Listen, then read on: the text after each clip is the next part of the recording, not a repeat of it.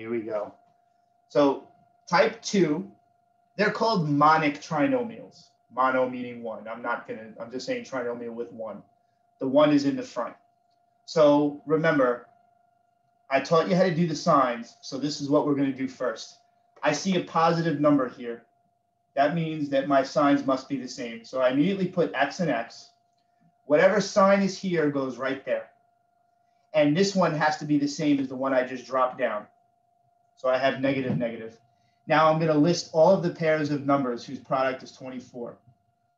So it's 1 and 24. Let's see, 2 and 12. 24 is divisible by 3, right? It's 3 and 8. 24 is divisible by 4. 4 times 6 is 24. 24 is not divisible by 5. It doesn't end in a 5. So that's out. 6. I already have 6. So you're not going to write 6 and 4 if you already have 4 and 6. It's pointless. So these are the only four pairs of numbers whose product is 24. Anything else would be a repeat. So now my signs are the same. So what I'm going to do is I'm going to add all my pairs together and try to make it 10. 24 and 1 make 25. 12 and 2 make 14. Now I want to point something out. If you subtract 12 and 2, you make 10. So if you did the wrong thing with these pairs and subtracted them instead of adding them, you got screwed and you're going to pick the wrong pair. 8 plus 3 make 11. 6 plus 4. Ah, ding, ding, ding. I have a winner. 6 plus 4 make 10. Put the bigger number here and the smaller number here. You see, what does it matter? The signs are the same. Trust me. The bigger number has to go first. I will show you why in the other examples. It's done. You have to check it all? Do you really need to check that x times x is x squared? Uh, no. Do you need to check that 6 times 4 is 24? Uh, no. That's the reason I pick this pair is because their product is 24. What should you check? Check the rainbow. Do the inner and the outer. On the inside, you get negative 6x. And then on the outside, you get negative 4x. That is negative 10x. You don't really have to check that either, but just make sure that the middles work out the way it's supposed to. And I got my minus 10 in the middle. All right, so this is the second one. Now, there's no number in front of the x, but there is a number there. There's a 1 there, right? You don't have to write the 1, just like there's a 1 there. Now, I'm going to do the same thing. I'm going to immediately just put x and x. And then whatever sign I see in the middle there, I'm going to just put it here. Now I just have to determine whether that one is a plus or a minus. But if I put a plus here, a positive times a positive is not a negative. These signs have to be different from each other. This one I already got for free, so I know this one has to be different. Whenever the last number is negative, your signs were different from each other. So now all I have to do is list the pairs of numbers that multiply to 30 and then fill them in and figure out when I get a 1. So let's see, I know that 1 times 30 is 30. I know that 2 times 15 is 30. Let's see. Remember, go in numerical order don't skip around. Go one, two, three, four, five, six, seven until you stop and, and you get repeats. Then you know you have them all. 30 is divisible by 3. It's 3 and 10. 4, let's see. 30 is not divisible by 4. I can't cut this number in half twice, so 4 is out. How about 5? Yeah, 5 times 6 is 30. And then 6, oh, I got it. Repeat. 30 is not divisible by 7. As soon as you get a repeat, like if 30 was divisible by seven, I would have already had it on the list. As soon as you hit a repeat, don't keep going. Oh, seven, eight, nine, 10. You, you already have them all. This is how you know. As soon as you get one repeat, it's over. Don't write more pairs. These are the four pairs. Now, my signs are different. What do I do when I have different signs? I don't add these. See, these signs are different, right? One guy's a minus, one guy's a plus. When the signs are different, you subtract. So I'm going to subtract these pairs. 30 minus 1 is 29. Don't do 1 minus 30. Start with the bigger number. 15 minus 2 is 13. 10 minus 3 is 7. 6 take away 5 is 1. Oy, finally. Well, there you go. Put the bigger number here. Put the smaller number there. Now you're saying, why do I do? I'm not going to do that. What the hell does it matter where I put the number? I'm going to put the smaller number there and the bigger number there. And I'm going to show you that it doesn't work. Positive 5x negative 6x. This is negative 1x. You have a positive here. This is the reason that you put the bigger number first, right? How do you subtract numbers? I mean, when like the sign number rules, when you had this, here you do seven take away three, which is four, and you keep the sign of the larger number. That's why you put the larger number first. You're doing six take away five, which is one, and you're keeping the sign of the larger number. So you must put the larger number first where you drop the sign so that it comes out correctly. So now when I check, I have positive 6x minus 5x. That is a plus 1. So now I got the middle to work out. Positive 6 take away 5 is positive 1. So you know that it worked. All right, so the third one, I have x squared minus 7x minus 60. A negative here means my signs will be different. Before you even start this question, x and x immediately. That sign, drop it right down. Would help if I could do it pretty, right? Boom, drop it straight down. I don't want the arrow there. Now this one has to be different than that one because you have a negative here. I am multiplying a negative. He's like, but why? I don't understand. If these, if they were both negative, a negative times a negative is a positive. So this can't be a negative. It has to be different. It has to be a plus. Now, look, at this point, I already know what the pair is, but, and you know, some of you might be able to figure it out, but you should always write the pairs down to make sure. I know that one, one will always be a pair.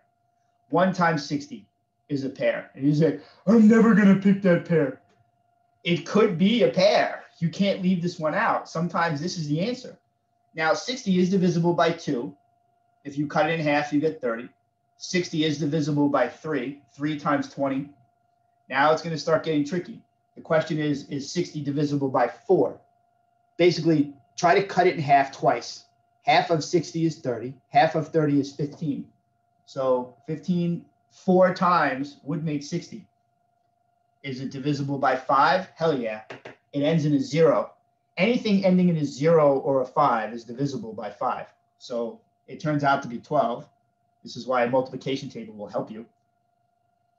Or a calculator, which you can use on your final. So 60 divided by 6 is 10. Now, 7. 60 is not divisible. 7 times 9 is 63. And 7 times 8 is 56. So you miss. You don't get 60. So 7's out. Same thing with 8. 8 times 8 is 64. You miss, right? So 8's out. Same thing with 9. You can't get a 60. So you keep going until you get a repeat. So then I'm up to 10. 10 I have. So that's it. I stop. These are all the pairs. It's a lot. Now I'm going to do this quick. I know I need to subtract them. 59, 28, 17, I'll write that one, right? The signs are different. I have to subtract. That one gives me 17. I know I need a 7, so I know it's not these. 15 minus 4 is 11. Aha. 12 minus 5. I could stop. 10 minus 6 is 4. There's my winner. The only way I'm going to make a 7 is if I did 12 and 5. And remember, you have to put, you keep the sign of the larger number. So you must put the larger number first and then the smaller number second. And now make sure you get negative 12x in the middle and you get positive 5x at the end. Negative 12 plus 5 is negative 7. You do not multiply this whole thing out. Why would you do that? X and X make X squared. You need to check this. You need to check 12 and 5 makes 60. You pick 12 and 5 because it makes 60. So you don't have to check that. You don't check it all. Just make sure you catch the negative 7 in the middle. And then that's it. All right, so the very first, the very, the fourth one, I was to say the very final one. You have x squared, 4xy, and 3y squared. This this one is very advanced because it has an extra letter there. And let me tell you, this extra letter over the years, I have watched it absolutely destroy people, and they get very confused about what to do with that extra letter. So my advice to you is, screw that letter. Just get rid of it. Do it without the letter there. Ignore the other letter. There's a y and a y squared. I don't give a shit. Just get rid of them. They're all just throw them away. They're all gone. I'm going to do it without the letter there because with the letter there, it's going to mess you up. So my advice is do it without the letter. The letter goes away. No more letter. I'm going to put X and X like I always do. Now I'm going to figure out my signs. The awesome thing is if they're if, if both of these are plus, then both of these are plus. This is a if you ever see if you ever see a plus here and here, you immediately put a plus here and here. you just drop them both down. It will always they have to a positive times a positive is a positive. And when you add a positive and a positive, you make a positive. Now, all the numbers that multiply to be three. there they are. What about two? Yeah, two times what is three? I don't think so. You're done. You have no choice. It's three and one. Three and one. Remember I told you it could be a one? It's never the first pair. Here you go. It's the first pair. It's the only pair. so it has to be the first pair. Now, I did not solve the original question. So the thing is, how did I just help myself? Well, I helped myself very easily. All I have to do now is take whatever letter was here and just put it there and there. You're like, no way, that doesn't work. X times X is X squared. 3y times 1y, 3 times 1 is 3.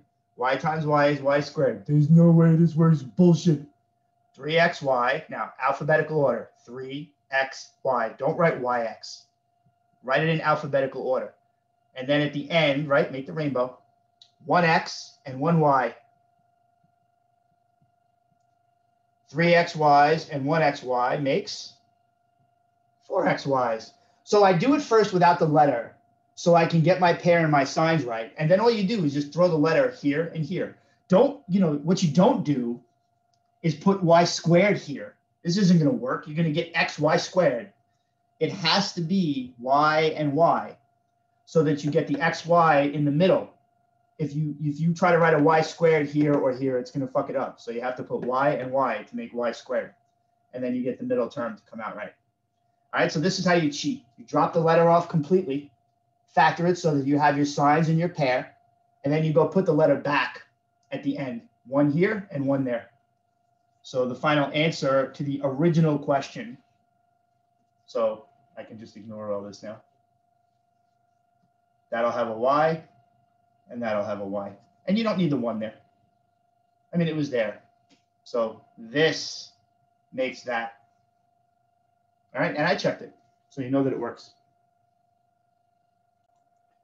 All right, so type three, difference of perfect squares. I wrote the list of perfect squares up there. One times one, two times two, three times three, etc. So you should always, when, when you're doing type three and four, it's very helpful to have the list of perfect squares there to refer to. If, if the numbers in front of these are not on that list, then it's not a perfect square and you can't do it. You know, if, if this had been a 21, this this problem cannot be factored. It doesn't. It just doesn't work. You have it has to be a perfect square. So here's here's the secret. You you put your two parentheses down. I know my signs are going to be different. Now, how do I know that? Because I have a negative here. So my signs are going to be opposites. They're going to be plus minus or minus plus. It's not going to matter. What goes in the front and the end will be basically the square root of these. We didn't do square roots yet. So what number times itself makes four? Two and two. You don't put one and four. You have to put something times itself. That's the whole point of perfect squares. Four is two times two, or two squared. Now, 25y squared. Well, to make 25, I need a 5 and I need a 5. And then I need a y and a y. Notice I am building a copy. These are identical. All I'm going to do now is just put different signs. So 2 times 2, 4. Something times itself. 5y, 5y, 25y squared. One dude gets the minus, one dude gets the plus, and it doesn't matter which. In the middle, I have negative 10y, and at the end, I have a positive 10y. Those cross out. That's why you have no middle term. This type, type 3, are always binomials. You do not have three things. You have no middle. You always just have 2 2. That's how you recognize this type. It doesn't have a middle part. All right, so something times itself, something times itself to make the front, to make the end. Now, same thing here. This one looks a little more complicated and advanced, but it's not any more difficult than this one. I need 9x2. So I'm going to put something times itself. What about 9 and 1? 9 and 1 are not something times itself. I need to make 49. So count. 1, 2, 3, 4, 5, 6, 7. Ah, 7 times 7. So 7m, 7m. Something times itself makes the guy in the front. Something times itself makes the guy at the end. Now, one dude gets the plus, one dude gets the minus. It doesn't matter which. You can do it any way you want. You put the minus first, or you put the plus first. I don't care. So you built you built a copy, but you just had different signs. This is going to introduce the next one because the next one you're going to build a copy, but instead of making the signs different, you're going to make them the same. All right, so this is called the difference of perfect squares. You build a copy and you just make the signs different. So type four, perfect square. This is very similar to type three in that you're going to do something times itself, except instead of the signs being different, the signs are going to be the same. How do you recognize it? The first number, perfect square. The last number, perfect square. How do you know the perfect squares? You write the list of perfect squares. I'll write it for you. Now, what about the middle? Who gives a shit about the middle? You ignore it. This is the only time you ignore the middle. Don't even look at it. Like, what do you do with it? You don't care. It will tell you the sign, but you're looking here and you're looking here. Okay, so how do you factor this? What you do is you put your two parentheses down and you do the same thing you did with type 3. I need something times itself to make 16x squared. Something times itself. That's not 8 and 2, and that's not 16 and 1. All right. Something times itself to make 16 is 4. 4x and 4x makes 16x squared. Now, I have to make a positive 1, so I need 1 times 1. There's nothing, 1's a perfect square. There it is. So now, what are the signs? Remember what I said. If you have a plus and a plus, drop them down. Yay, how easy. Now, I want to check. My middle, my inner of the FOIL is positive 4x. On the end, 1 times 4x is another 4x. 4x and 4x make, son of a bitch, yes, you get the middle term. If you build this thing correctly, the middle term takes care of itself. You don't try to worry about the middle. This is why I said to ignore it. All you worry about is making the first dude and making the last dude. I have to get the first term right and the last term right. And the middle will take care of itself. So look at how easy this was to factor. 4x, 4x, boom. 1 and 1, boom. It's that simple. Now I'm going to move over to this one, which looks a lot harder and a lot scarier. It's not any more difficult to do. You have 25, it's a perfect square. You have 9, it's a perfect square. So I'm good. The middle, 30 is not a perfect square. I don't give a damn about 30. So I'm going to put 5 and 5. You got to put 5x and 5x, right? 5x and 5x make 25x squared. Something times itself. Now you need 9y squared. So I got to put 3y and 3y. Now, what are my signs? I know they're the same. I have a positive. They have to be the same. They will always be the same. So they're going to be whatever that guy is. It's going to be negative. Negative 3 times negative 3 is positive 9. y times y is y squared. Now, check one thing. Negative 3 times 5 is negative 15. And you have x, y, alphabetical order. Now make the FOIL rainbow. Negative 3 times 5, negative 15. x, y. What's negative 15 and negative 15? It's 0. No, it's not. If you lose 15 and you lose another 15, you lost 30. Oh, son of a bitch. That's what's in the middle. The middle will always take care of itself if you build the first and the last terms correctly in the product. It will just come out right. You should check this part to make sure you got the middle right. I mean, it's not a bad idea to check, but you have to take on faith that the middle will work out if you build it right. Something times itself, pow. Something times itself, pow. So you get the guy in the front, you get the guy in the end, and the middle takes care of itself. So this is type four. Perfect square